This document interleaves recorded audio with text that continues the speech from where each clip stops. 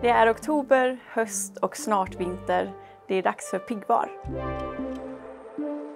Jag ska laga piggvar på ben. Det blir kantareller, svartkål, en härlig hollandaise med juice och på det lite granskott. Piggvar, den absolut lyxigaste fisken tycker jag. Riktigt fin, väldigt köttig i konsistensen och jag väljer att tillaga den på ben just för att precis som en köttbit så får man ju väldigt mycket smak från benen. Behåller det här fina skinnet så att den blir riktigt saftig och juicig. Sen lägger jag den på en örtbädd med lite smör. In i ugnen, sen är vi redo att åka. Till det här så blir det kantareller, skogens guld, fantastiskt god smak tycker jag kantareller har. Och till det så blir det då syltade granskott. Så vi knyter ihop hela hösten här i en härlig rätt för piggvar.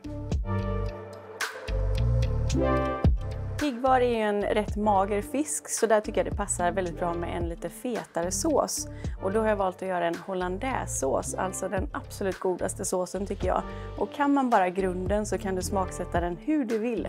Så att idag kommer jag använda yuzu och soja men du kan ju ta örter, gräslök, du kan ha tryffel, fantastiskt god sås.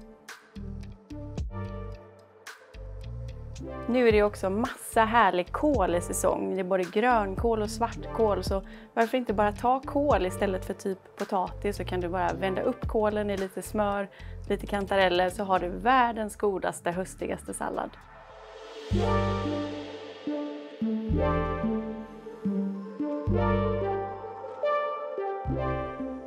Sådär, oktober. Piggvar, kantareller, kål, krämig hollandaise. Vad vill vi ha till det?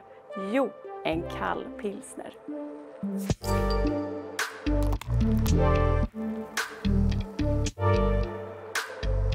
Mm.